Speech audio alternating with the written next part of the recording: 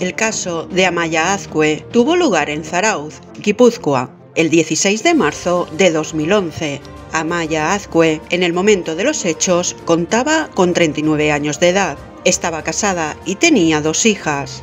Todo apuntaba a que iba a ser un día totalmente normal, pero una simple decisión, en un lugar y hora equivocados, llevaría a Amaya a un horrible final.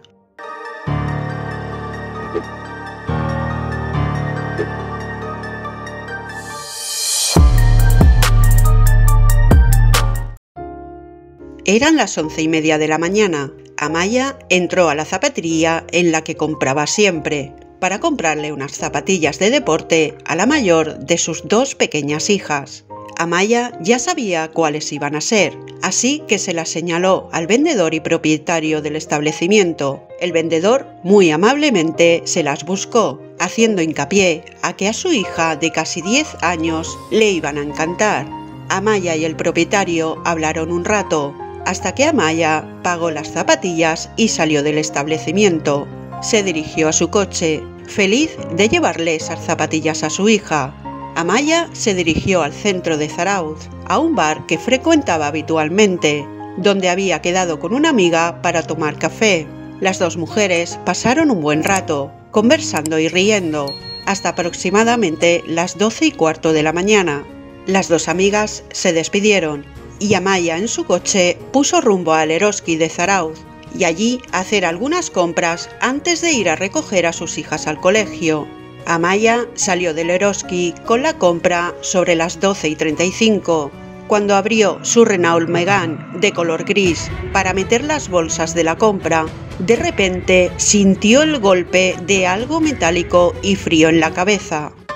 Una voz masculina le susurró, quieta, no hagas ningún movimiento. Amaya obedeció y no se movió. La voz volvió a susurrarle, te estoy apuntando con una pistola, así que ni se te ocurra hacer ninguna tontería. Dame las llaves y métete lentamente dentro del coche. ¿Me has entendido? Amaya asintió y le entregó las llaves del vehículo, y mientras el atacante aún le apuntaba con el arma, se sentó en el asiento del copiloto y el atacante lo hizo en el lado del conductor. El atacante condujo con una mano en el volante y en la otra con la pistola, apuntando a Maya. Amaya no dijo nada, pero lo que sí hizo es observar al chico. Era un chico bastante alto y delgado, rubio, llevaba gorra, un chaleco acolchado, pantalones tejanos y unas zapatillas de montaña. A Amaya hubo algo que la inquietaba. Era que el chico parecía demasiado joven. Puede que ni llegase a los 18 años. El coche se paró de repente. Amaya miró a su alrededor. La verdad es que no estaban muy lejos del Eroski. Estaban en el parking del centro deportivo donde entrena el equipo de rugby, el Zarauz Rugby Taldea. De repente el atacante se giró hacia Maya. Vamos, dame todo el dinero que tengas ahora mismo. Amaya respondió, ¿eso es todo lo que quieres? ¿Me dejarás irme si te lo doy? El atacante, sin mediar palabra, golpeó a Amaya con la pistola. Menos palabras, dame el puto dinero. Billetes, tarjetas, todo lo que tengas. Amaya obedeció para no cabrear más al chico. Sacó su monedero. El chico bruscamente se lo quitó de las manos y rebuscó en él. No había dinero en efectivo, pero sí que habían dos tarjetas de crédito. El atacante le preguntó cuál era el pin de las tarjetas. Amaya se los dio, esperanzada de que el atacante se fuera con las tarjetas y la dejara en paz y no le hiciera ningún daño. Pero, después de tener el pin de las tarjetas, el atacante le propinó otro golpe con la culata de la pistola, quedando a Maya inconsciente en el asiento. El chico salió del coche y se dirigió al otro lado, abriendo la puerta donde estaba Maya. Pensó que con el golpe había acabado con su vida.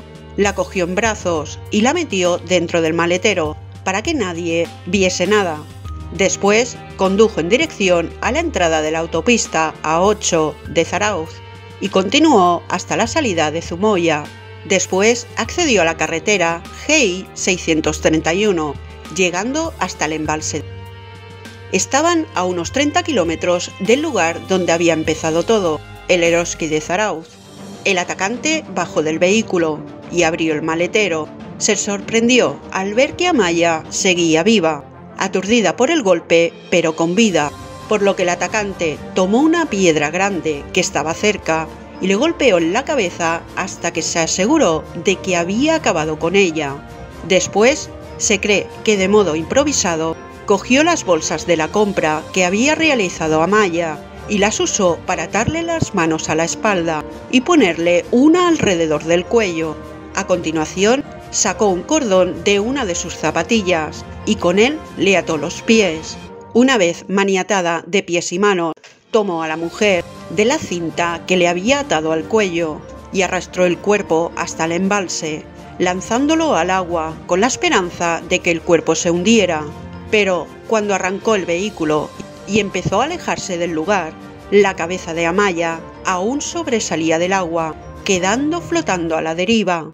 Sobre las 5 de la tarde, cuando las clases de primaria finalizaron, saltaron todas las alarmas cuando Amaya no estaba para recoger a sus hijas del colegio. Esto fue totalmente preocupante, puesto que Amaya iba siempre a por sus hijas. Ningún familiar sabía nada de Amaya ni de dónde podía estar. La última vez que alguien la vio fue sobre las 12 del mediodía, cuando estuvo tomando café con una amiga. Tampoco la localizaban de ninguna forma. En su casa no estaba ni Amaya ni su coche, por lo que el marido de Amaya, junto a un familiar, no esperó mucho más, y a última hora de la tarde fueron a la comisaría de Zarauz para hacer la denuncia por desaparición.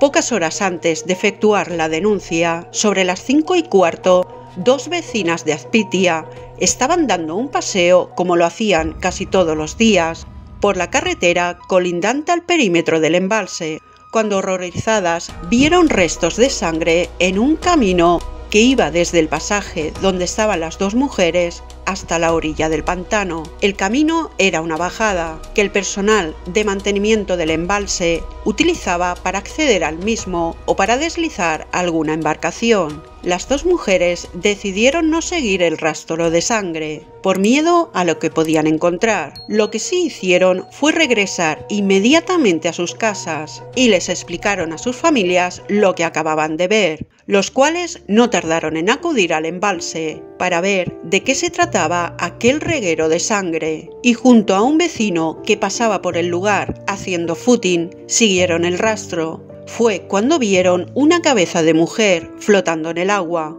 De inmediato avisaron a la policía. Un equipo de investigación criminal de la Archancha, un equipo de policía científica, los bomberos y el juez de guardia se presentaron en el lugar limitaron toda la zona del embalse. Los bomberos se dispusieron a sacar el cuerpo del agua. Observaron que se trataba de una mujer joven, con múltiples golpes en la cara. Tenía las manos y los pies atados, y alrededor del cuello tenía una cinta sin apretar. Por el momento no observaron más señales. Los golpes en la cabeza parecían ser la causa del deceso y el juez de guardia ordenó el levantamiento del cuerpo y posterior traslado al Instituto de Medicina Legal de San Sebastián para practicarle la autopsia. De mientras, la Archancha estaba recopilando pruebas. En el camino localizaron, como ya habían avisado los vecinos de la zona, los restos de sangre que llevaban hasta el embalse. También marcas de rodamiento de un vehículo en parte del camino. Al inicio del camino hallaron una bolsa de plástico, la cual contenía varias prendas, entre ellas una chaqueta, y en los alrededores también hallaron una pistola. Con todas las posibles evidencias recogidas, la archancha se trasladó a las dependencias policiales y empezaron con la investigación y la identificación del cuerpo. Esto último no les llevó mucho tiempo, ya que sobre aquella misma hora fue cuando el marido de Amaya, junto a un familiar, presentaron la denuncia de desaparición de Amaya. Las características coincidían a la perfección con el cuerpo del embalse. En las primeras horas de la noche ya tenían el nombre y los apellidos del cuerpo hallado, Amaya Azcue.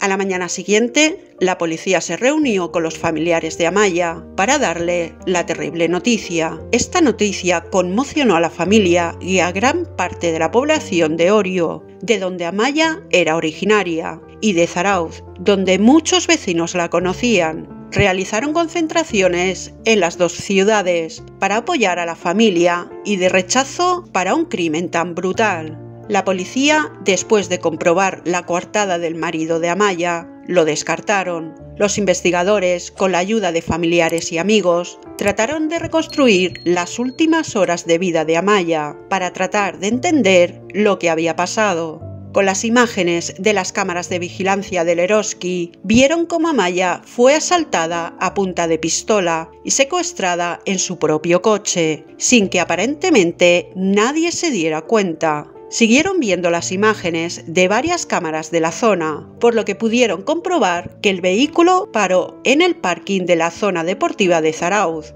Allí dedujeron que se produjo la primera agresión, ya que pudieron ver cómo el atacante metía a Maya inconsciente en el maletero del vehículo. Gracias a las cámaras de las carreteras, pudieron seguir el recorrido del atacante, llegando hasta el embalse, donde lo perdieron de vista pero con las pruebas recogidas en la zona del embalse y que el cuerpo se viera, tenían claro que el crimen tuvo lugar en aquel mismo sitio. Los investigadores no tenían ninguna pista de dónde podía estar el Renault Megan de Amaya. Claramente el atacante huyó con él, y desde aquel mismo momento el hallar el vehículo era fundamental, ya que era una de las escenas claves del crimen.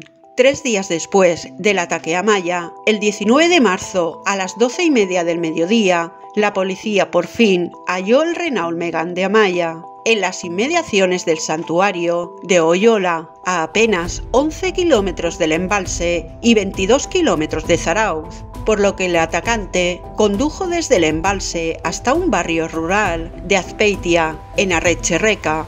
En el lugar los investigadores preguntaron a los vecinos por si habían visto quién dejó allí el vehículo, dando con una mujer que les explicó que justo el día que tuvieron lugar los hechos, estando en su balcón, vio el Renault Megan gris, dándose cuenta porque el vehículo entró al lugar de manera muy rápida. La mujer añadió que el vehículo paró al lado de unos contenedores de basura y el conductor empezó a sacar bolsas del maletero y las tiró al contenedor. Además, también tiró dos sillitas para niños que estaban en los asientos traseros del vehículo. Esto también lo vieron otros vecinos del lugar, los cuales vieron que después el individuo se acercó a una ermita que hay en la plaza y en la pila con agua bendita se lavó las manos y se marchó. El Renault Megan fue trasladado a las dependencias de la Policía Científica de Erandio para analizarlo en su totalidad en busca de evidencias. También las sillitas de las pequeñas, que fueron recuperadas del contenedor de basura. En las sillitas, el maletero, en un cinturón de seguridad e incluso en el cordón con el que Amaya tenía atados los pies, encontraron ADN masculino. Este no estaba relacionado con la familia de Amaya, por lo que inicialmente pudieron descartar que el autor de los hechos fuera un familiar, pero no descartaron que Amaya lo conociera. Aunque tenían un ADN masculino relacionado con los hechos, no tenían ningún nombre, ya que cuando lo introdujeron en la base de datos de la policía no les dio ninguna coincidencia, por lo que el individuo no había sido nunca detenido ni fichado. Los investigadores debían de tomar otro rumbo en su investigación, porque tenían un ADN, pero no una identificación, es por eso que la policía siguió su investigación en el entorno y objetos personales de Amaya, descubriendo que el día de los hechos se sacaron de las tarjetas de Amaya 300 euros en total y se intentó, pero sin éxito, sacar otros 300 euros. Las operaciones se realizaron en dos cajeros diferentes de Azpeitia, los investigadores se preguntaban si el robo fue el móvil del crimen. Esto les parecía muy extraño, ya que fue un atroz crimen por el móvil de robar 600 euros, aunque no tenían nada que les hiciera pensar en otro motivo. Los investigadores consiguieron recuperar las imágenes de las cámaras de vigilancia que tenían las dos sucursales bancarias, donde se hicieron las dos operaciones con las tarjetas de Amaya, logrando así una imagen bastante clara del criminal varón de entre 18 y 25 años, estatura aproximada de 1,90 metro, de complexión delgada, con gorra y un chaleco acolchado, pantalones tejanos y unas bambas de montaña. Con estos datos, los investigadores redujeron una larga lista hasta llegar a 129 posibles sospechosos, coincidiendo con las características, pero cada uno de ellos fueron descartados, ya que el ADN no coincidía con ninguno de ellos. Pero gracias al cordón de las zapatillas de montaña con el que habían atado los pies de Amaya, pudieron esclarecer quién fue el culpable de acabar con Amaya. Cuando los de la científica examinaron dichos cordones, de ellos sacaron ADN masculino, pero se detuvieron ante estos cordones, eran peculiares. A primera vista podría parecer un simple cordón de unas zapatillas de montaña, ya que era negro, con ribetes rojos, y tenía los típicos protectores de plástico en los extremos. Con esto, los investigadores identificaron algunos modelos de zapatillas de montaña que llevasen ese mismo cordón, llevando a cabo una exhaustiva búsqueda por comercios de Guipúzcoa que en los últimos años hubieran vendido exactamente esos modelos de zapatillas. Los investigadores, con las características físicas y con los nombres obtenidos, fueron vivienda por vivienda, hablando y preguntando a los compradores. Cinco meses después del crimen, el 16 de agosto de 2011, la lista de compradores les llevó a una urbanización de Azpeitia, donde vivía el comprador número 251. En aquel domicilio les recibió una mujer, la cual reconoció haber comprado hacía ya tiempo unas zapatillas como las que buscaban los investigadores para uno de sus hijos, Ander, de 17 años, el cual la policía pudo comprobar que coincidía a la perfección con las características físicas del sospechoso. En ningún momento los agentes hicieron alusión de que estaban allí por el crimen de Amaya y citaron a Ander a declarar al día siguiente por la mañana en la comisaría de Azcoitia. A la mañana siguiente, el chico se presentó en la comisaría en compañía de su padre y de un abogado. La mañana del 17 de agosto de 2011, Ander Echevarría, que al día siguiente cumpliría 18 años, confesó ser el autor de los hechos. Por la tarde también lo haría en la sede de la Fiscalía de Menores del Juzgado de Menores de Guipúzcoa. En la declaración dijo que se entregaba por arrepentimiento, aunque no ofreció muchos detalles sobre los hechos. La versión que dio fue la siguiente que el 16 de marzo de 2011 fue recogido por Amaya en el Renault Megane gris mientras hacía autostop y ella accedió a llevarlo hasta Azpeitia. En el trayecto discutieron. Dijo que no recordaba el motivo de la discusión. Esto lo hizo en bastantes ocasiones, decir que no recordaba y que había olvidado lo que pasó. Después explicó que se dirigieron al embalse y allí acabó con ella con una piedra. Dijo que la idea de robarle le vino cuando había acabado con Amaya. Ander no dijo nada más. De esta declaración, los investigadores apenas se creyeron la mitad, solo lo que se podía confirmar con los datos apoyados científicamente, que Ander era el asesino de Amaya, ya que al cotejar el ADN sí que coincidía, que acabó con Amaya con una piedra, sin haberla encontrado en el lugar, los forenses dictaminaron que las heridas que tenía Maya podrían perfectamente haberse hecho con una piedra grande, que el móvil fue el robo, ya que quedó registrado por las cámaras de seguridad de las dos entidades bancarias, que sustrajo dinero con las tarjetas de la víctima. El texto judicial contaba con un total de 62 páginas. Estimaba probado que Ander abordó a Maya el 16 de marzo de 2011 en el parking de Eroski de Zarauz. Le robó dos tarjetas bancarias que después las utilizó para sacar dinero y agredió brutalmente a Maya con una piedra antes de dejarla ya sin vida en el embalse. el fallo declaró a Ander culpable de los delitos de asesinato, robo con intimidación, empleo de instrumento peligroso, robo de vehículo a motor ajeno y contra la seguridad vial por haber conducido el vehículo de la víctima sin tener carnet de conducir. Se le condenó a 10 años de internamiento a régimen cerrado en el centro de menores de Ibayondo, donde debía someterse a un control terapéutico y participar en tratamientos específicos. Sin embargo, si su conducta no satisfacía los fines correccionales, podría ingresar en una prisión convencional por tener ya los 18 años y ser mayor de edad.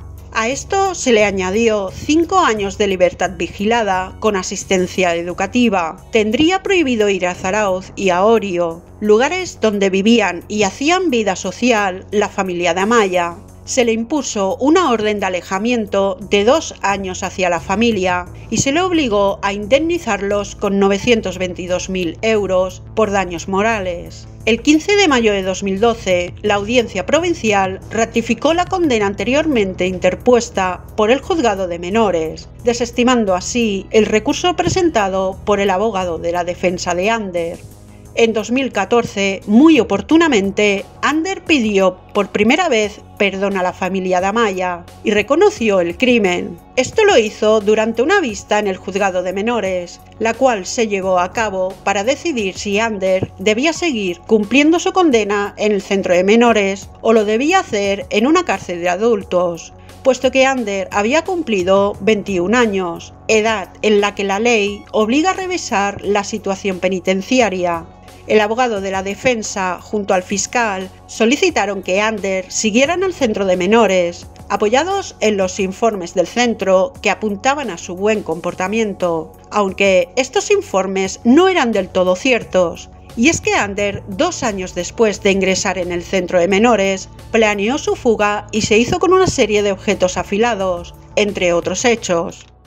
Llegados a este punto, os invito a reflexionar conmigo sobre la ley penal que tenemos en España, cuando se trata de un menor, en este caso, a punto de cumplir la mayoría de edad, cuando cometió el crimen. Cuando se le juzgó, ya tenía los 18 años.